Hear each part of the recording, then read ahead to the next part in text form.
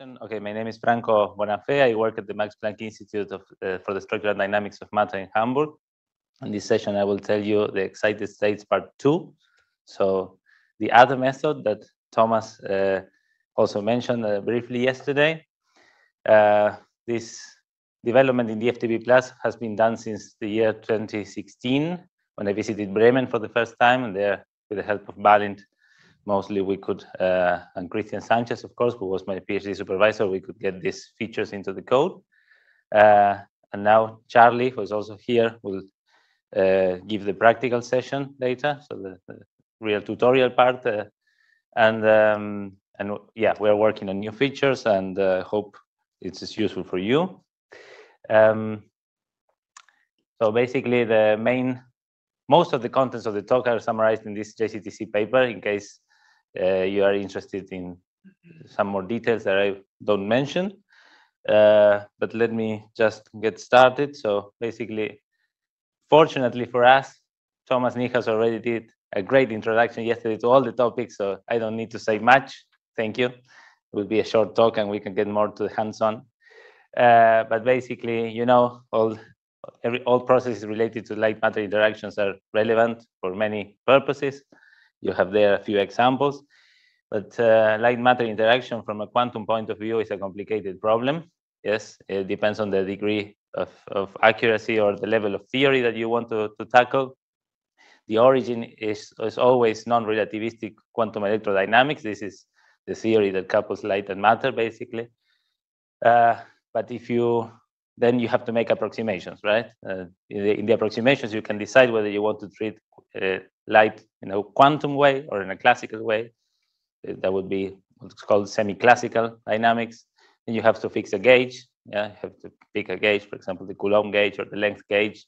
You have to pick an approximation for the cap for the coupling in the multipole expansion, for example, whether you make dipole coupling, quadrupole coupling, octupole coupling, magnetic dipole you have to in include nuclear motion or not. I mean, it's a it's the vast universe. So that's why we start with the very basic or the most approximate way, and then on top we can add corrections or we can try to compare with other theories. As an example, I put here a Hamiltonian that includes the quantum uh, the quantum uh, light degrees of freedom, so photons degrees of freedom in the, the third term over there. Yes, um, and then of course a, a, a dipole coupling in this term. This is not this is not what we will do, of course, but just to mention that you can you can try to go as far as possible in order to describe some uh, processes of light matter interaction that are normally not included or not not present in in the in the basic uh, or or the or the most approximate way. Yes. So just as a reminder, of course, I will not say too much about this. Just go and click there on the lecture by Thomas to see why uh, and how time-dependent DFT is derived or where's the origin. So basically, you, as you mentioned yesterday, after the Hohenberg and Kohn theorems for uh, DFT and the Kohn-Sham method, then Runge Gross had their theorem or their uh, uh, let's say contribution in which they show that it's also possible to do the DFT. So basically, the fact that the energy of the system is a function of the density also in time. Yes, this holds in time, for which you need, uh, of course, you need to write everything in a time-dependent way. And now you can also, you, a Hartree potential in time in time domain is no problem. Then you also have this exchange correlation potential in time domain, which is a problem because uh, you first of all we don't have an exact exchange correlation potential, and then on top of that, you need to account for the memory of the system and the time in, in, a, in a exchange correlation potential that depends on the previous times. And there, there have been some attempts, but basically uh, what, what is done normally in most of the codes, and this is what we do, is called adiabatic local density approximation, which is basically a, a exchange correlation potential that is local in time. Yeah, so it depends only on the present time. Uh, and the good thing about this theory is that now we have a, a, an external potential, then we can put whatever we want there basically, and then we can couple to electromagnetic fields. Yes, so this is this is what we will want to do to couple with external fields. In order to do this, we have basically two approaches, as Thomas also mentioned yesterday, perturbation theory, the Casida equation that he introduced yesterday, and the real-time propagation that is what we're going to focus on. Yes? In order to do the real-time propagation, let me first introduce the concept of the density matrix for you. Uh, if, you're if, you're not familiar with it, the density matrix is a projector, as you can see from the definition here. And this one, this density matrix in particular that we want to work with, it's called the one electron, reduced one electron density matrix, yes? Um, and it's built from, as, as the formula here in the middle says, from the Fermi occupations, for example, or any occupations of your orbitals and the eigenvectors that you get when you calculate the ground state. Yes, these, C vectors are the coefficients of the molecular orbitals in the atomic orbital basis, which is the eigen, eigenvectors when you diagonalize your Hamiltonian. Yes. Basically, we will start from the ground state and we will ask ourselves, how do we propagate this electronic and nuclear state of the system in time? Yes, and uh, for that we need an equation of motion. And um, this equation of motion we can write for the wave functions. As you know, time-dependent Schrodinger equation, this is what I will show now, but we can also write it for the density matrix. So this is why I'm introducing this concept. Yeah, if you have questions, just interrupt at any time. Or if you, Charlie, also want to add something. Okay. okay, so basically we start from the time-dependent Schrodinger equation as a general term, right? It actually would be a time-dependent Kohn-Sham equation with Kohn-Sham orbitals within DFTB. Uh, and these Kohn-Sham orbitals now could be described in the basis of the atomic orbitals. Um, and then basically the first step to, to do this, this derivation is to consider that the atomic orbitals, that the, that the molecular orbitals, the time derivative of the molecular orbitals is basically the derivative of a product. Uh, and um, if one does that, just basically can be rewritten as here in the second line. Uh, and then, of course, as we normally do, we sandwich this formula with a stay phi kappa from the left. And then we see what, what we got. And if you, maybe this was already mentioned in the previous lectures, if you have this, these brackets here, of course, this in DFTB, we have a non-orthogonal basis. So these are the orbit, the, the, the the, overlap matrix. Yes, this is the Hamiltonian matrix, and this here is something that is, of course, something new, which uh, is what we will call the non-adiabatic coupling matrix, basically. Yes. So if one does a rearrangement here to to have a formula for the derivative of the coefficients, which would be the equation of motion for the wave functions or for the coefficients, we arrive to this expression in which basically we will see that uh, uh, we can we, we, we can do the, the full dynamics if we know how this how to compute this non-adiabatic coupling matrix, which as you can see depends on the time derivative of a certain orbital.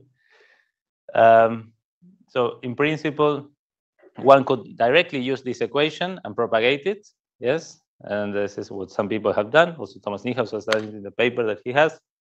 But uh, in, in our case, for, for, for, for efficiency purposes, we basically rewrite this considering the definition of the density matrix. And now we have a formula for the time derivative of the density matrix. Yes.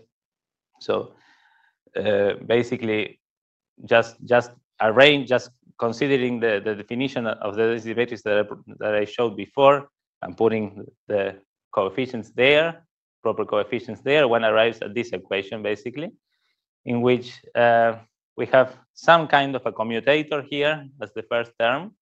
This is a generalized commutator when you have non-orthogonal basis um, that would provide what, what would be the elect purely electronic terms without considering nuclear motion.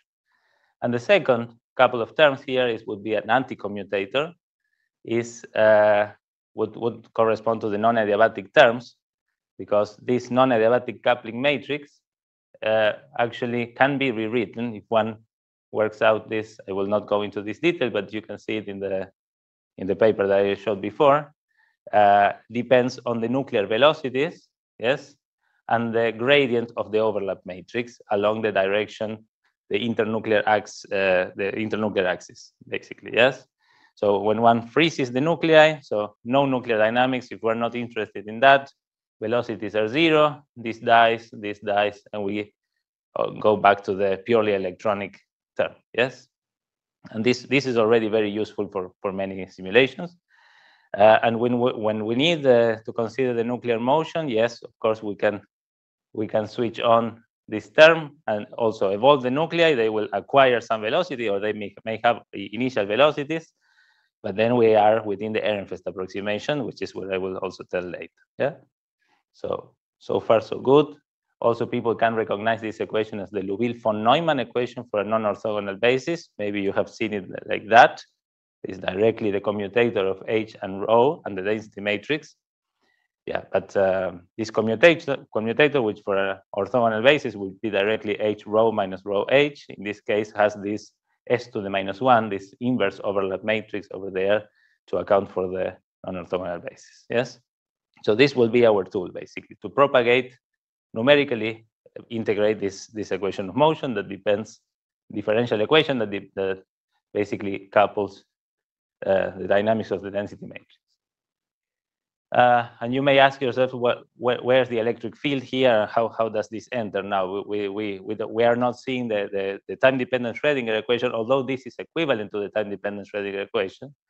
Uh, but we are not seeing it. Well, of course, it's inside this Hamiltonian. This Hamiltonian will also evolve in time, depending on the external perturbation that we have. We may, may be a time-dependent external perturbation. So let me, for, for a moment, ignore the, the, the non-adiabatic coupling terms. We will go back to that later. Basically, we keep the first term. So what do, what do we need to do in terms of numerical algorithms to, to propagate it? We need first an algorithm typical uh, numerical integration algorithm, something that tells me at time i plus one, what is the, the object that I need based on the object at time i, basically the previous time step.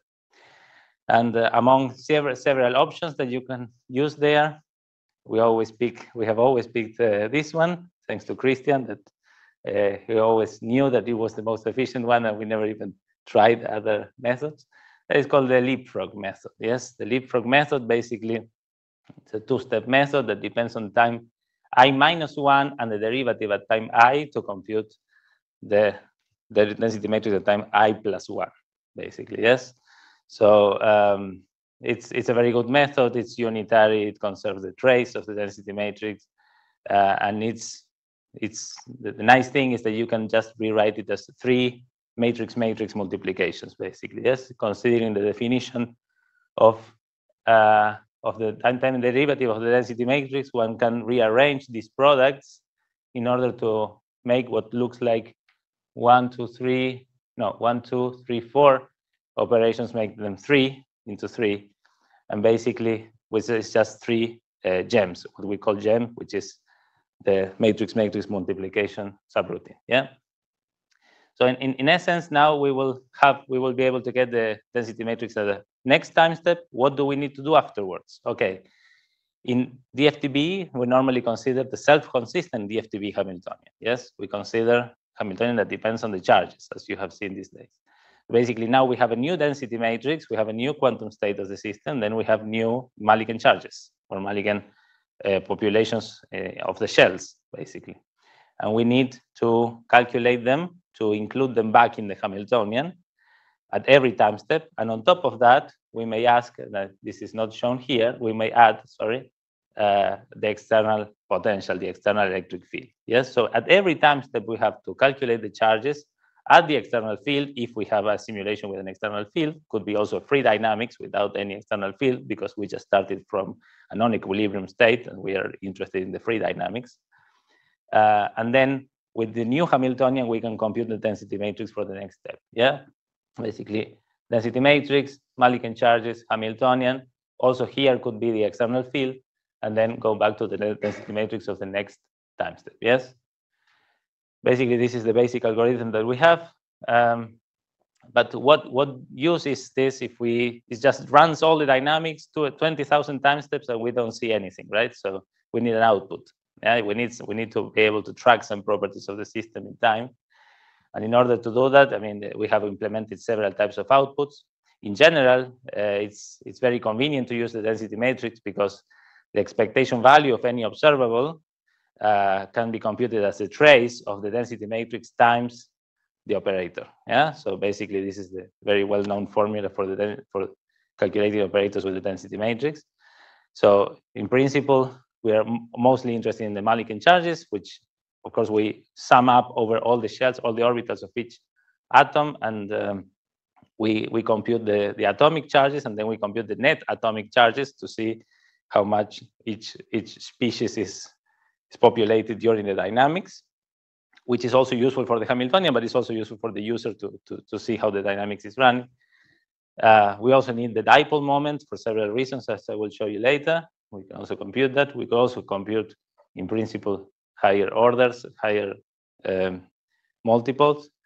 Um, and we are also interested sometimes in the in the populations, but the populations in time, when you see the the, the, populations in time, uh, there are several. I mean, the populations of which orbitals is the question because the orbitals also evolve in time, basically. Yes. So in order to have something that we can understand, we project the populations in the ground state molecular orbitals. Yes. So we have what we call the dynamical populations, which are uh, projected on the ground state molecular orbitals. What I show here is basically just a normal change of basis although the secret is how one computes this lambda matrix, which is just the inverse of the eigenvectors matrix. Yes, so we do we can we can do this change of this change of basis at certain times during the dynamics to have the populations of the orbitals, and we can see how it, eh, some orbitals are populated or depopulated during the dynamics, which gives us information of what process or what excitation we are driving with the external field, basically. Yes. So uh, we can also print forces, the, the, the, time-dependent forces, the and different energy components and so on. So we will see that in the hands-on session. So just a, a, few things about the implementation in DFTB Plus for this uh, purely electronic dynamics. It scales of, of, order n cube for frozen ion dynamics. It's not so good when we include the, the ionic motion. For the moment, it's only OpenMP parallel. Yes, so in principle, it's not uh, not needed, uh, or yeah, we, you will not gain anything if you compile the code with MPI for this uh, for this feature. At some point, I hope soon, uh, the MPI parallelization in K-points and spin channels will be added. This is in principle trivial with the code, or almost trivial. Yeah, I can see Balint say yes, but uh, I hope I hope that this will be done soon.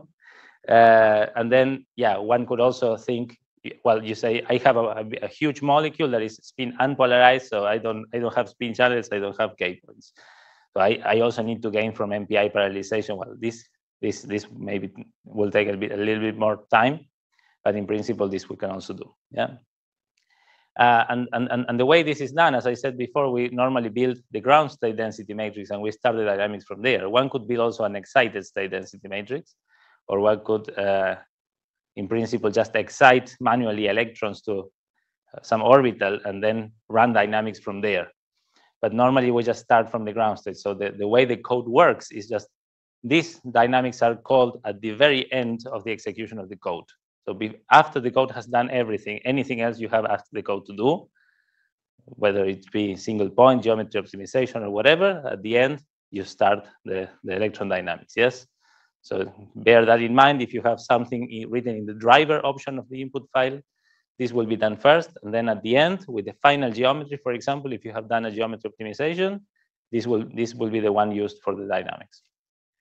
Um, and if you are interested in taking a look at the code, uh, it's there. Basically, this, this path, I just added it so that you can have it in the slides later.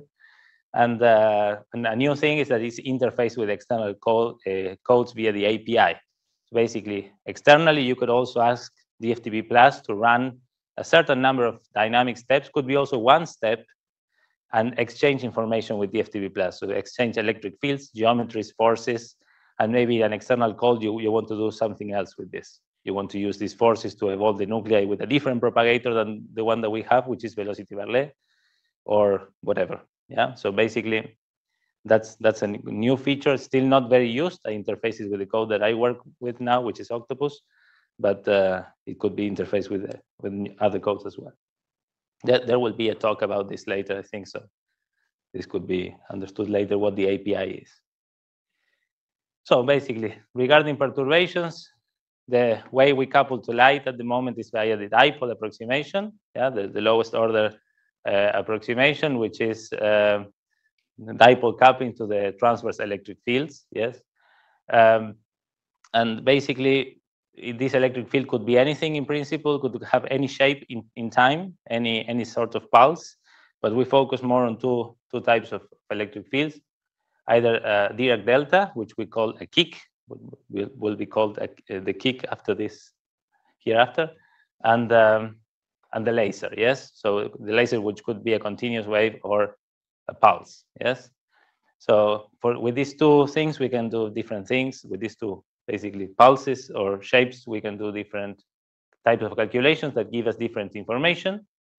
Let me start with the absorption spectrum. So we apply this delta kick to the to the system, which is the delta kick, which is basically an instantaneous acceleration to all electrons of the system.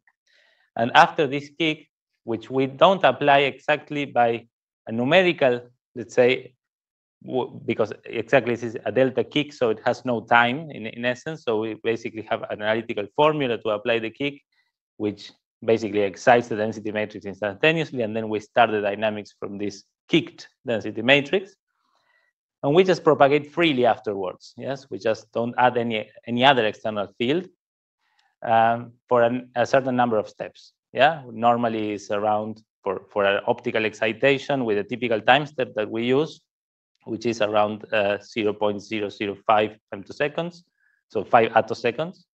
Uh, we have to run around 20,000 steps or 10,000 steps, right? Um, of free propagation. And in this free propagation, we just compute the dipole moment, yeah, the three components of the dipole moment in time. Why is that? Because with the dipole moment, and here we apply linear response to this, which is uh, a different form, a different form of, of, linear response, we can compute also uh, the polarizability of the system, which can also be used to compute the cross-section of absorption of the system, and then we have the absorption spectrum, basically. So this is the, this is the path that, that we take. Kick the system, free dynamics for a certain number of steps, uh, record the dipole moment in time, do the Fourier transform of the dipole moment, and with this we can have the complex polarizability of the system, and the cross-section of absorption is proportional to the imaginary part of the average of the let's say the average of the diagonal elements of the polarizability. Yes, so this would be like the trace divided by three, hmm? uh, which is also yeah multiplied by the by the frequency as well. Let me show you now how how will one do that with the code. Essentially, one uses any input file that you already have for DFTB plus. Then you have to add this block, uh, electron dynamics uh, block. You provide the number of steps, the time step. As I said, normally this 0.2 atomic units, which is around five attoseconds is a safe time step, but sometimes one has to decrease it. You will be able to see when you have to decrease it. You will see some some strange behavior there in the time propagation, some explosion of the of the dynamics, and then you have to decrease it. Um, and then you also have to say which perturbation you want to apply. In this case, the perturbation is called kick, and uh, the polarization direction of the kick, which is uh, the yeah the polarization direction of the electric field, basically you can say X, Y, and Z, or you can say all, basically. And you just, if you say all, it will run consecutively X, Y, and Z propagations, which for each one of them, it will record the dipole, the three components of the dipole moment in the different file, yes? So now you have three files, mu X, mu Y, mu Z, dot dot in your directory, and you can run a Python script that we have also in the tools in the Plus that is called time, uh, time propagation spectrum which will, first of all, damp the dipole moment because we, for a molecule, the dipole moment, I mean, in, uh, in, in, in this type of electron dynamics, it doesn't have any dissipation, doesn't have any damping, so it will just be, you know, oscillating forever, so you have to damp it. Also, when you damp it, you damp it with an exponential function, which the Fourier transform of the exponential function is a Lorentzian basically. So you're adding a Lorentzian line shape to each peak, to each excitation in your spectrum. Uh, and you also have to provide the intensity of the electric field that you used in your input file, yes? So if you use exactly this, this number here in volts per angstrom. So you divide when you when you want to calculate the polarizability, you have to divide by this intensity of the external field. Mm? Um, basically, this is how it's how it's run. Charlie will also guide you with some with some examples with this. Um, and now this is a typical output of each of these stages that I was mentioning. Yes. Just to mention that um, from the previous session from yesterday, uh, this method to obtain the polarizability and then the absorption spectrum is totally analogous, or it's a different method, but you will obtain the same result as with the linear response. Mm -hmm. Yes, yes, this is also tested. Um, okay, so basically, as I said, you kick the density matrix and you evolve in time. You will have a, a dipole moment in time that looks something like that, very, very noisy with a lot of frequencies, but depends on your system, of course. If you excite H2, you will have only one, one resonance. But uh, in, in this case, you have many. Then you damp it with this, uh, uh, with this uh, damping constant, and you see that you basically make it zero at the end of the, of the run uh, and then you do the Fourier, calculate the Fourier transform, which gives you already this shape. Yeah. So this uh, is proportional, this mu of omega is proportional to the, the complex polarizability. Yes. Uh, but in order to calculate the, the absorption spectrum, you still need to, to multiply by the frequencies and some other factors. And if you do that, you, you see that the, the, the, the oscillator strength and the, basically the, the intensity of absorption of each peak of each excitation changes with respect to this to this uh, polarizability only. Yes, uh, this is something relevant because some people always only talk about the polarizability when calculating the absorption spectrum, but it's actually the absorption cross section that matters. Um, yes. So for the moment, I think that's that's the, introdu introduction to the kick. What can you do now with the kick uh, plus? You can also use spin polarized systems in DFTB plus and apply the kick. And this is something important that we also had doubts about this for a long time. To, to be honest, what was singlet and triplet in our case, and what was singlet and triplet for the Casida uh, uh, solution. And basically, we, we use uh, the same words, but with a different meaning. So be careful with this. Um, the singlet excitation for us is when we apply basically an electric field kick, an electric field kick will not couple differently to the two spin channels. It just adds the same perturbation to the two spin channels, and hence it gives you singlet excitations. So excitations that don't have any change of spin, basically, yes? Well, we can also add a magnetic field kick, which basically is the same uh, kick that we were applying, but with the opposite sign to the two spin channels, and then propagate the dynamics. And uh, for with, with that information, we can compute the triplet excitations, which would be, sorry, there, there's a typo here, should be different than zero, actually equal to one. Yes, change of spin equal to one. Yes. So in, in principle, with this, as we we were listening yesterday that there's there's no possibility of change of, of spin, so singlet to singlet, triplet to triplet.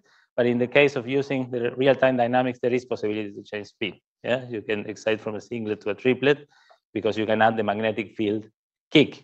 It's not as simple as to add the magnetic, a magnetic field in a laser fashion or a magnetic field excitation to drive this transition. This is not implemented yet, but for the absorption spectrum, it is.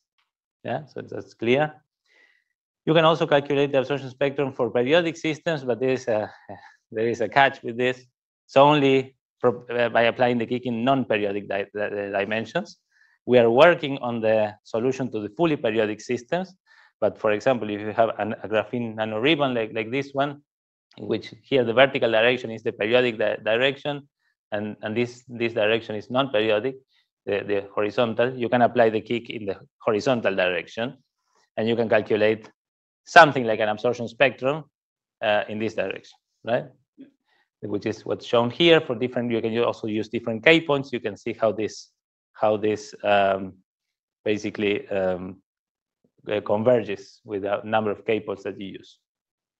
Then you can also use the, the models to improve the description of correlation that we have in the code, DFTB plus U or pseudo self-interaction correction. This plot is also from the same paper uh, about uh, different, so basically scanning uh, or sweeping a range of U values uh, and calculating the absorption spectra for all these U values and checking what would be a reasonable U value to match the transitions calculated with higher level ab initio methods, yes? So this you can also do. You can also use on-site corrections. And uh, recently we also enabled long-range corrected uh, hybrid functional calculations, which I think you also already heard about, uh, but it only singlet excitation for the moment. Is that right? It's available only singlet.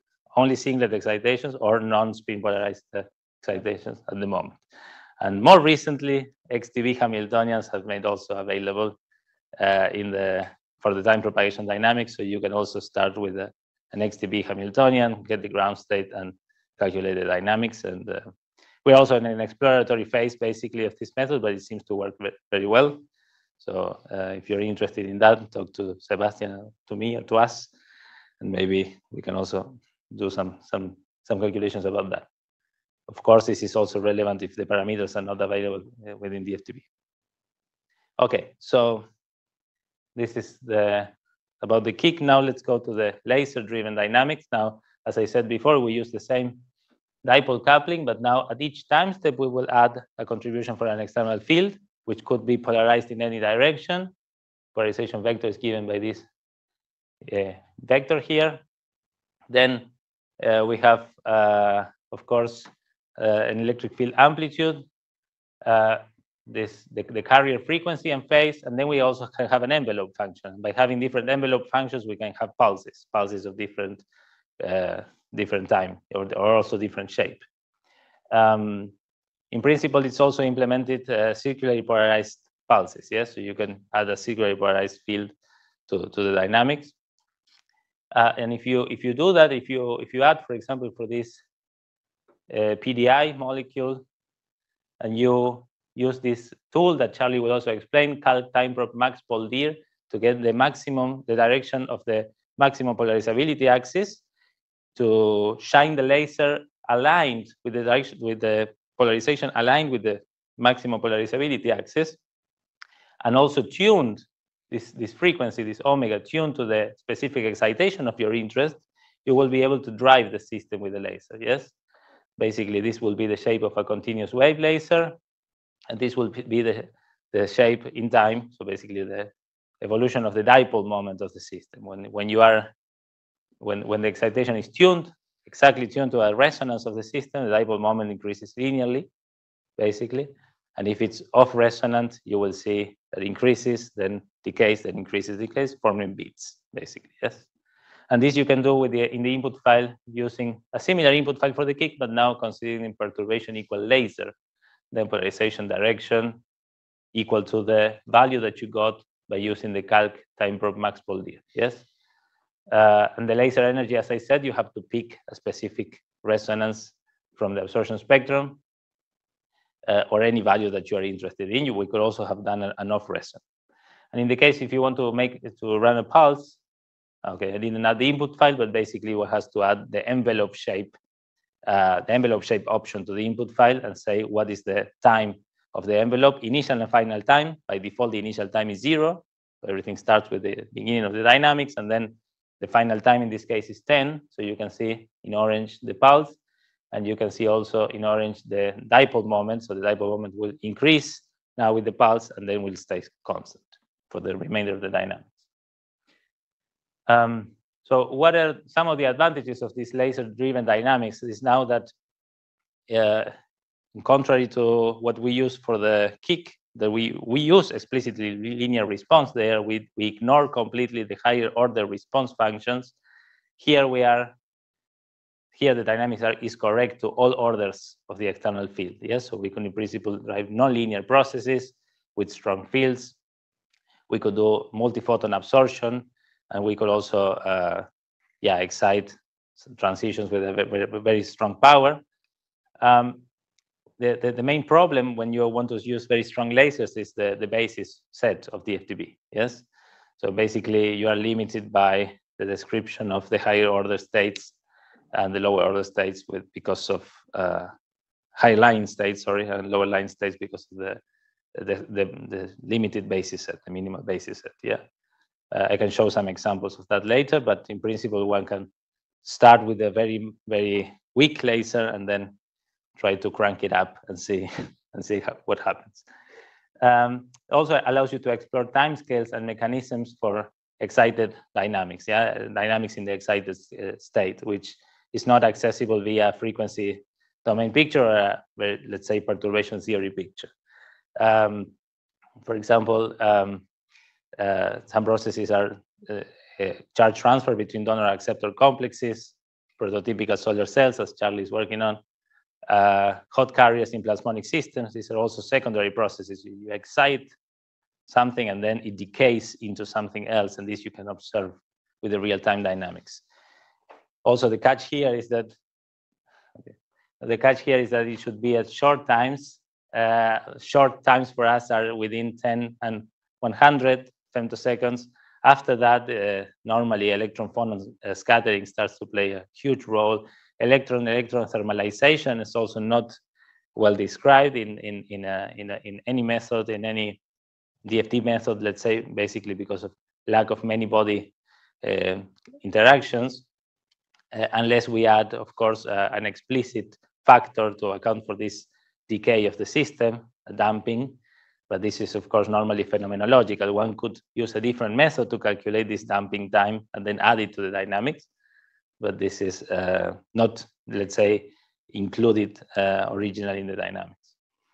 Um, and of course, the, the, other advantage is that you have now an equation of motion and you have a Hamiltonian. You can couple to new systems, new interactions. You can you can start to explore models and ways of accounting for the interaction of electrons and photons, electrons and phonons, with uh, the same Hamiltonian, basically, or at the same footing. And this is something for me is very very interesting because you can couple to nuclear motion. You can you can add metallic contacts as as Alessandro was talking about yesterday. You can study now transport in real time. You can study the, the transients uh, involved in, in transport in real time. Um, and you can also, as I am working on at the moment, you can also couple to Maxwell's equations in real time so that you can have propagation of electromagnetic fields alongside the propagation of the electronic system yeah so in a fully coupled way. So this is for me something very powerful. Now let's go to the now let's go to the nuclear motion part the ion motion.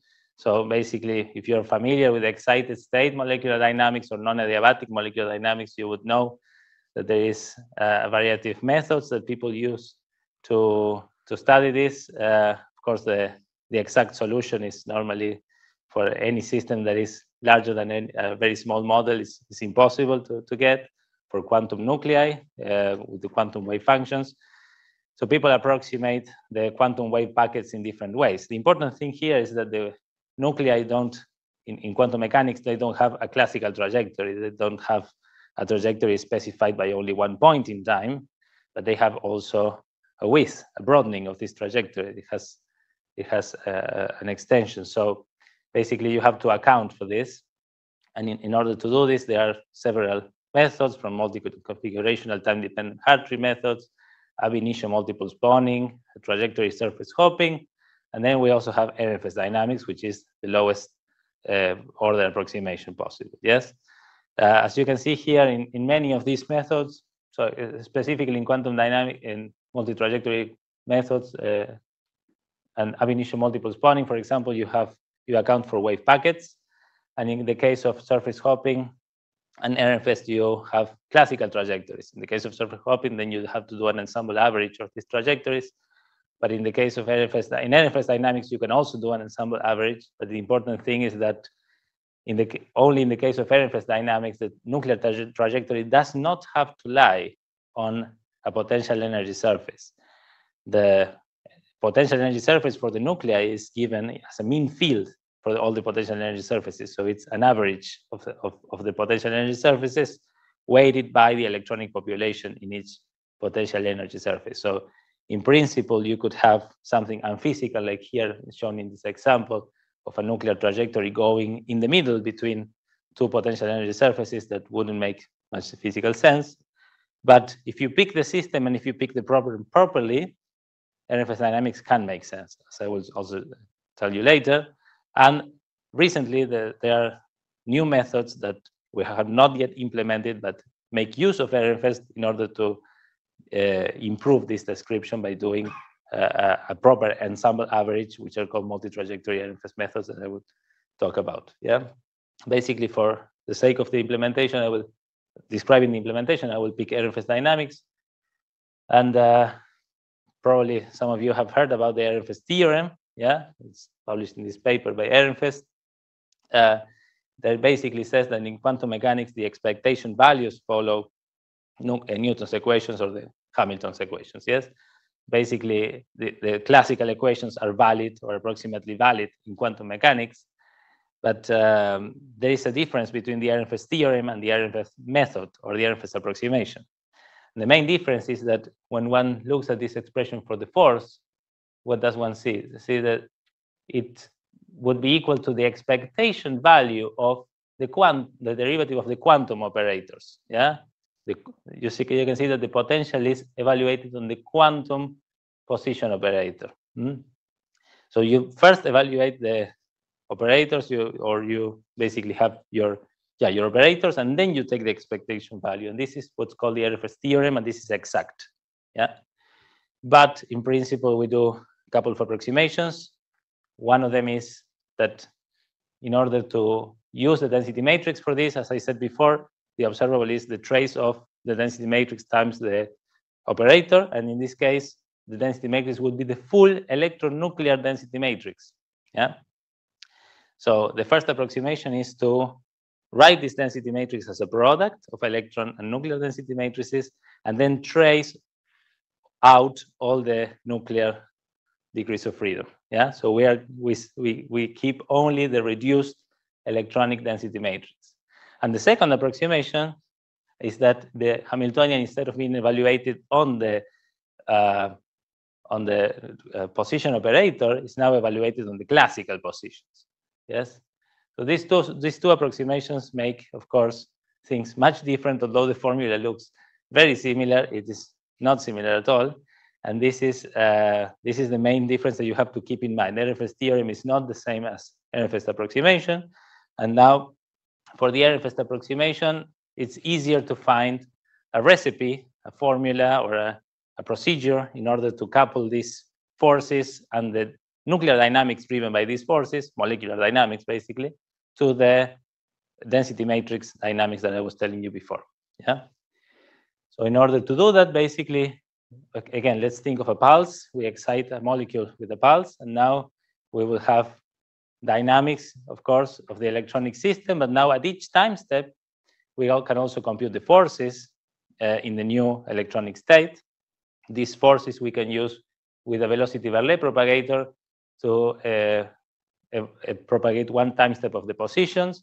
With the new positions, we can use we use the same propagator to get the new velocities. With the new velocities, now we have to calculate this non-adiabatic coupling matrix that if you remember, I told you depends on the nuclear velocities. And then this, and then, and then we use the, the leapfrog algorithm to get the new time step for the density matrix. And this is how it's all coupled, basically. Yeah, so this is the, the essence of the algorithm for, for the Ehrenfest dynamics. Uh, I didn't include here the expression of the forces is in the paper. It has too many terms and it would be cumbersome to explain all of them, but uh, if you want, we can talk about that later. Um, but basically, let me explain a little bit how you would use it in your input file. Um, so uh, essentially now, in addition to all the laser parameters that you had before, now you have to add a couple of variables, ion dynamics equal yes, basically, which by default is no. And then you can provide an initial temperature or you can provide initial velocities. Initial velocities you could get from a born Oppenheimer molecular dynamics run or from anywhere, or you could make it by hand if you want an, an atom to initially be hitting your structure from, from the outside, you just add a, a velocity there, right? Uh, and if you do that, and you run the dynamics, for example, for a simple benzene molecule, you can see that I put a very, very large field strength. I also make the short pulse, so the, the total energy absorbed by the system is not that high because the pulse is only 10 seconds.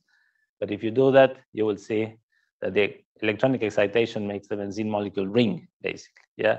And this ringing is given by something that was also mentioned yesterday that is basically populating antibonding orbitals. Yeah? this happens in most of the systems that you excite, you will populate an antibonding orbital, and this will basically soften the potential energy surface along this, the atoms participating in this orbital, and they will start to move.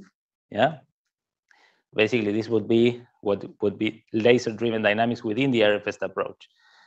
Clearly, this is missing a lot of things, as, as I was saying before. The non-adiabatic couplings that one normally computes, for example, in surface hopping, this is not included here. This is just the evaluation of the nuclear dynamics on a new potential energy surface that is, in principle, an average several potential energy surfaces.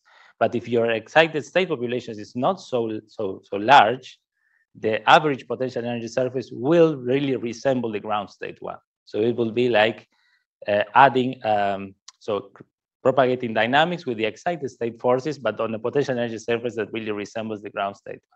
And this can be also very, very use, useful, for example, for metallic systems in which you have a very large density of states.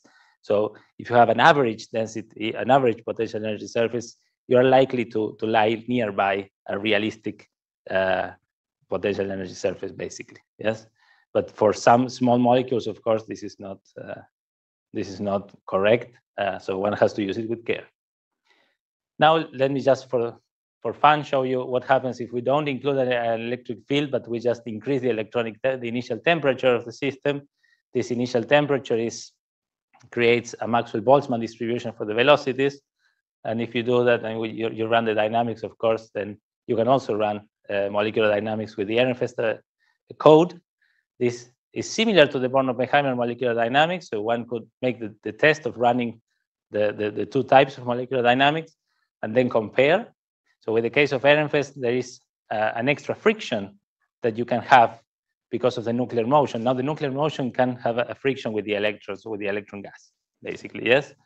Uh, which is not the case for Born-Oppenheimer molecular dynamics. You're there, you're always on the ground state, yeah? So this is also a, a, clever way to run molecular dynamics with the code. If you're interested, you can also track the dipole moment of the system in time, and you could calculate vibrational properties with this.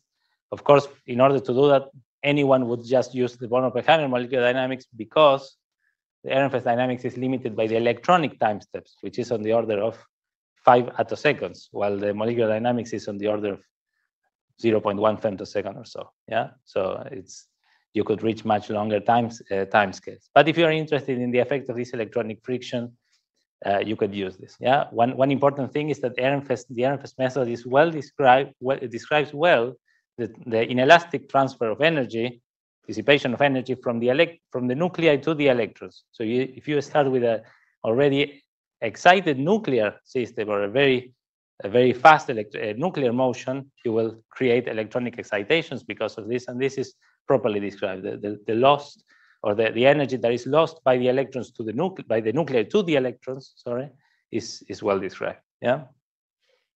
Of course, this also has limitations. Uh, just to, to, to, mention a few, uh, there is no Joule heating with Ehrenfest. Yeah, you, you're all familiar maybe with Joule heating. You circulate the current, you heat the nuclei. There is no Joule heating basically because the electrons uh, are treated as a fluid and the, and the nuclei are not treated as fluid, they're just, just classical particles. Uh, this is in this describing this paper that you can also read. In general, this inelastic dissipation from the electrons to the nuclei is wrong. As I said before, from the nuclear to the electrons is correct.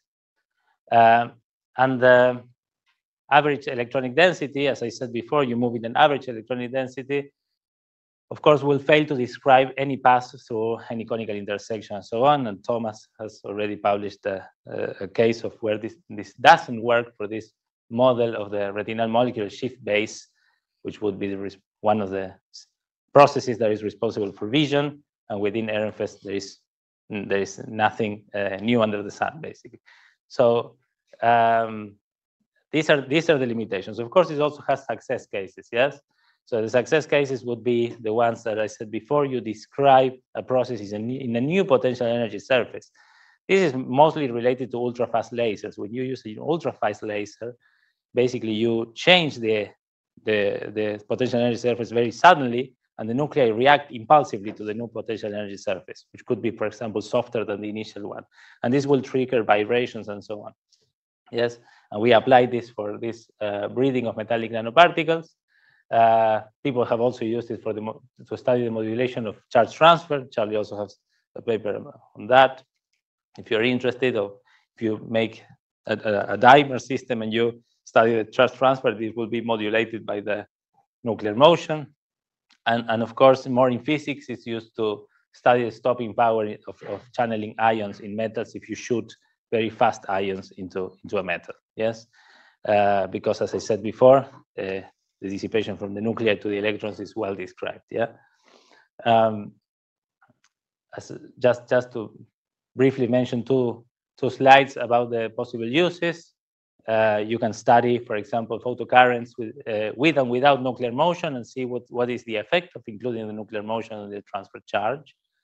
Yes, for example, in this case, uh, what Charlie found here is that the charge decreases when you start moving the ions by about half of the of the value it got if you ignore the nuclear motion uh, with a, with a very short pulse. In this uh, nano diamond was PDI or TDI? PDI. PDI molecule. I cannot tell the difference. Sorry. Um, and, and, and, and of course, yeah, the other example, as, as I mentioned before, this plasmon-induced vibration. Yeah, normally when I was talking about this, make, doing this project with people, they, they told me, no, no, don't try with Ehrenfest. It's not, not going to work because uh, all the mechanism for this process is driven by uh, a sequential sequential steps from electron thermalization, electron phonon coupling, and then dissipation to the environment. Uh, but of course, at very, very short time scales, this could be also a, a, mechanism that operates there, in which the initial vibration is triggered by this sudden change of the potential energy surface given by the pulse, by, by the laser. And you, if you study this with different sizes of silver nanoparticles, you can see vibrations of the radius of the nanoparticles with periods that match the ones experimentally reported. Um, and this again can be explained by the same mechanism that in the benzene ringing case. So you excite, this, this what I have plotted here is the difference of population for each energy. You have energies here in this uh, vertical scale, you have the density of states. Basically, you excite electrons to anti-bonding orbitals, and this in general softens all the bonds, and the, the, the nanoparticle starts to move. In principle, it will reach the new the new equilibrium radius and it will stay there, but now it has it has inertia, so it overshoots, it goes far away, and then has to come back and then starts bringing breathing, basically. Yes. Um, and something to, to do to improve this, this is again not yet done, but something that is developed by some other people in the group where I'm right now, and I find it very interesting, is the multi-trajectory Ehrenfest approach. Yes. So basically, as I said before, you can um, you can improve a lot the description of the vibronic progressions of the absorption spectrum if you run an ensemble average of many, many Ehrenfest trajectories on the order of 10,000 by choosing the initial conditions from a Wigner sampling of the, the, from the ground state, yes? So basically you do a sampling of initial conditions, you have to run the dynamics and then you will be able to, to get some of the vibrational progressions this is still to be tested for other molecules and other systems. In my in my group, they have only tested it with eh, H2, and I would be interested in what is the effect with more with heavier elements because their uh, the Ehrenfest approach normally works already a bit better, and maybe this already makes the, the approximations that one has to do here easier to to to to, to do. Of course, as you can see here, the multi-trajectory Ehrenfest kick, which is the blue line in this in this curve, does not reproduce the exact solution uh, for this particular system. So in the group, they develop other methods, conditional wave function methods that couple different trajectories, different Ehrenfest trajectories. So instead of making an ensemble average of totally independent trajectories, you make them interact and exchange information at certain time steps, and this this will already improve. So if there is any interest in developing this, we can also talk about that later. Um, up to what I've shown, what I've shown up to now, it's all included in the recipes. Yeah, in the website, I should have put this slide before, but uh, now, now we can we can also show it and, and explore. But basically, you have already tutorials in the website for electron dynamics, laser-driven kick, and Ehrenfest dynamics with this benzene example. And let me, in the last minutes that I have, tell you about pump probe spectroscopy because this is something really new that we want to add fully to what is offered in the code, not just as an input flag, but also all the scripts and methods so that people can use it. Basically, if you're not familiar with pump uh, transient absorption spectroscopy, it's a method uh, ultra fast laser with ultra fast lasers, basically to pump uh, pump the system, so excite the system with a with a stronger laser, and then uh, waiting cert a certain delay time and probing it normally or preferably with a white with a with a white uh, band lasers. Yeah? So basically, um, with this you can study the dynamics of the system in a few, uh, let's say, tens of femtoseconds or picoseconds, uh, and you can then infer what are the ultra fast processes happening there. Uh, if you have a decrease of the absorption with respect to the ground state absorption, this is called uh, this could be called a ground state bleaching or a stimulated emission. And if you have an increase of the absorption, then basically the, you are absorbing in a region in which the ground state was not absorbing. So this could be linked to an excited state absorption. This is only within the photophysics. Yeah, if we study also photochemistry, then we can have reactants and products, and it's all more messy. Now the reactants are consumed during dynamics, their new products form, and uh, it's a whole new universe basically. But uh, computationally, there were a, a, couple of methods that people had developed before since the 90s. And these methods are really expensive for large systems because you have to compute the third order response function. Then you, you will also have it your, your response only at, at third order, basically, but it's already good enough. And uh, this third order response function is a huge object that then you can directly convolute with any sequence of, uh, of, uh, of electric fields to get the transient signal. Yeah, this is, this, a lot of people have done this, Domcke and, and so on. And but but this this this method with scale, last time I checked, was uh, scaling with, uh, I mean, in the literature, of course, I never did it myself, uh, order n to the 16th. Yeah, so for a for a large system, it would be 16. Yes, because the yeah the, the, the third order response function is a huge object. But uh, yeah, since 2013, also motivated by a paper of the group where I'm right now, I saw that uh, within DFT you could also you could also simulate transient absorption spectra with a more effective method, let's say, also cheaper. Uh, but up to that point, it was uh, not considering nuclear motion. Now we can also incorporate the nuclear motion. So let me show you how this method would look like. You start with the molecule, in this case, zinc tetraphenylporphyrin, which is the one that I used in my in my PhD to, to do these studies. Then you start by, as I said before, you first it's pump probe. So you first just have to pump it with a with a pulse, and then then you track the dipole moment of the pump system in time. Yes, so you record it, you have it in a file in your computer, everything perfect.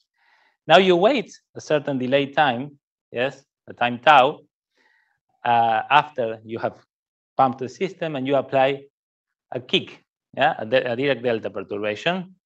And now you will have a second run, second trajectory in which the dipole moment of the system is the sum, or it's not the sum, it's the new dipole moment of the pumped and probed system. So you applied already the two, the two lasers, yes? So you can already tell that this is already beyond linear response. At the first sight, it looks beyond linear response. I will tell you how we go back to linear response later, because we have two pulses. Linear response will have only one. But um, yeah, now, now you have a sum of the dipole moments. And now, now you would say, I want to know the, how much the system have, has absorbed because of the probe only, not, not because of the pump. The pump I don't care about already. I, know, I want to know the state of the system at the moment I kicked it. And uh, by the, the way to do this is just calculate the dipole difference, yes? So you, you subtract the orange curve with the blue curve corresponding to the same time period, yeah? basically this this would be your reference run and this would be the, the run with the with the kick. And in this dipole difference we have all the information that we need to calculate a transient absorption spectrum yeah? So we take this we calculate the fourier transform and we will have this dotted this uh, dashed red line which will be the excited state spectrum. I also show the ground state one and this would be the absorption now, now instead of absorption as a function of omega, we have absorption as a function of frequency or energy and time delay. Yes, so absorption as a function of omega and tau. And now if we want to study transient absorption spectra, the way to study this is to subtract the ground state spectrum and then we have absorption of omega, delta absorption of omega and tau.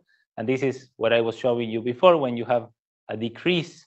It's called a ground state bleaching in this case because it's at the energy I had pumped the system and it's uh, basically removing population from the ground state. Then if you probe it at a later time, you will have less population to excite, and this means less absorption. And this is why the delta gives you negative, yeah, something negative. Then it also has some extra positive signals that could be linked to excited state absorption, yeah.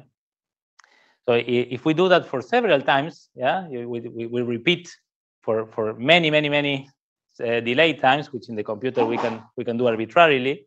We can pick the the the, the time the time shift uh, arbitrarily.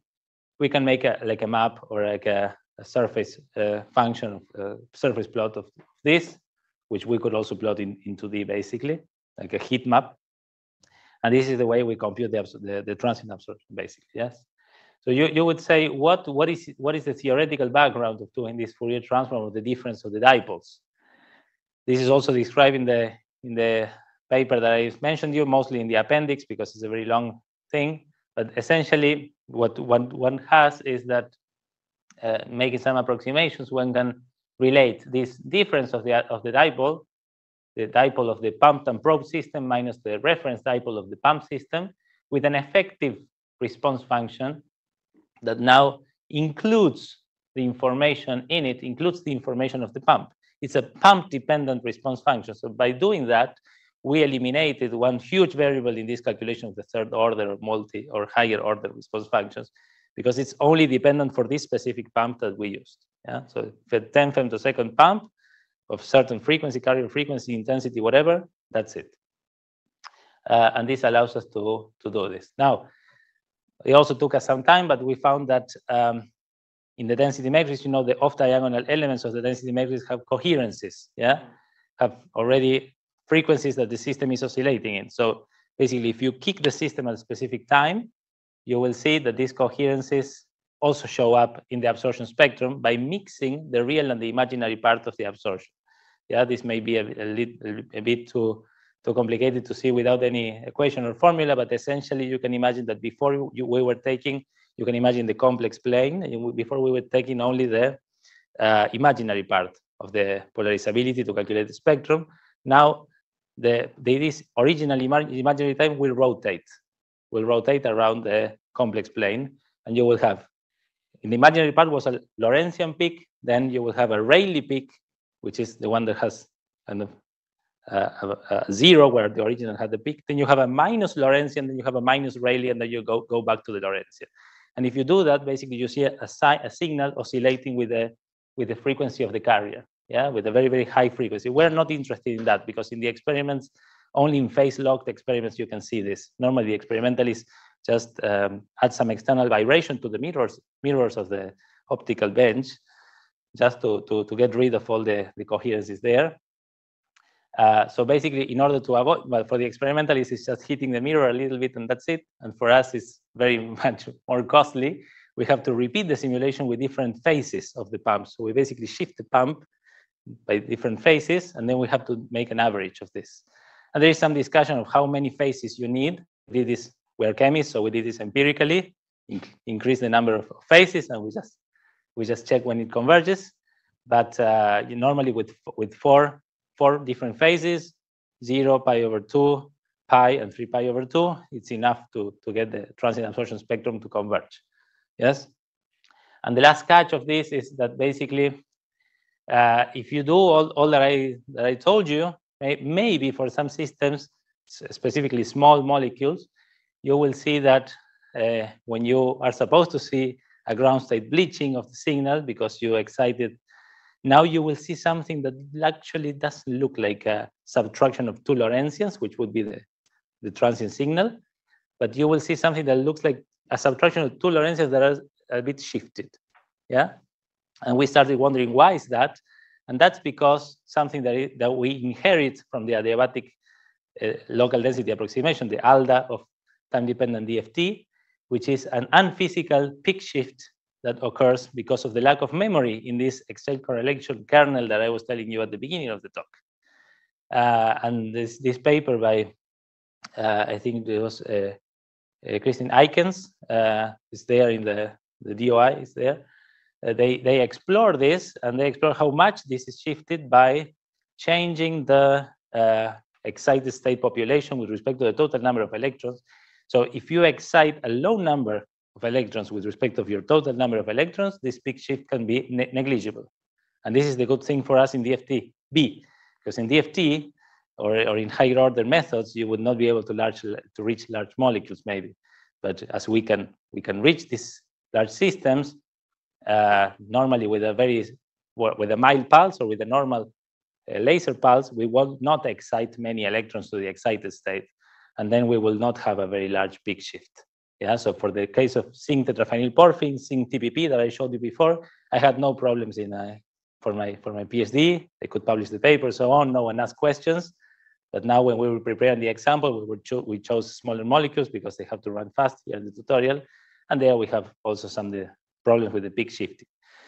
So in order to fix that or to get away with it, basically one has to bear in mind that this peak shifting occurs only when the pump is acting, basically, yes? So when the pump is over, now the peaks will not shift anymore during the dynamics. So you can make the trick or the approximation or actually plotting something different, which is the transient absorption spectrum subtracting the, the absorption spectrum right after the pulse. Instead of the ground state one, the one right after the pulse. Mm -hmm. You will not see the ground state bleaching there because you already bleached the signal during the pulse, but you could see also the, the excited state dynamics if there are any further processes that are happening after the, pulse, the pump. For example, nuclear vibrations or internal electronic reorganizations or whatever. Yeah. So that's something to bear in mind. Just, just to show you that this worked, we compare with some experimental transient absorption spectra for this zinc TPP, although this was in, in solvents. So I was talking to Sebastian in order to run the simulation with solvents now and see if we also get some further um, more quantitative agreement. This was more, more or less qualitative. You see a ground state bleaching in the SORET band of the porphyrin, but also you see a ground state bleaching of the Q band because the Q band in this porphyrin also uses, all porphyrins also basically has the same uh, orbitals involved at the SORET band uh, for so, some of the orbitals are the same basically. Uh, and just briefly, the last one minute, let me tell you what would happen if we do a, a, a transient absorption spectra for a long time, including the nuclear motion, because we will not have time to do this in the tutorial, because the simulations with the nuclear motion take more time. But essentially, you would compute it, and you would see you, here we are exciting in this Soret band, and we see the, the transient absorption signal, and we see some, some fringes there. So we ask ourselves, what are these fringes? What are these oscillations? And in order to do that, you can compute the Fourier transform again, but now along the delay time axis. Yeah. And now instead of using uh, an exponential function to get a Lorentzian, we just use a window function, like uh, like the ones you use, for example, for the calculation of the infrared spectra with molecular dynamics. Yeah. And then we move this window function, and we get the uh, the, the, the, the Fourier transform along this axis and then we will have also some signals. So now, now we have frequency and frequency in these plots, basically. Yeah? Excited frequency and vibrational, or let's say lower frequency here. And we will see some spots. So how can we tell if these are vibrational or electronic uh, vibrations uh, or oscillations? We can also repeat the simulation with frozen ions. And if we repeat the simulation with, with frozen ions, we see nothing there, basically. So this confirms that there were vibrations. You can see these vibrations. You can understand them. I will not tell you all that because um, uh, there is no time to, to, to, go deeper, but this is also published in this paper. Uh, and this is also a useful tool to see which vibrational modes are coupled to your dynamics. Of course, going to all the trouble of doing the transient absorption and the Fourier transform in order to get it, it seems a bit overkill. But sometimes uh, if you want to understand if your approximation makes sense to compare with an experiment, if you want to validate your method, you have to you have to do this. Yes. And with that, I finish, and I would like to thank you for your attention. And now we will go to the hands-on session.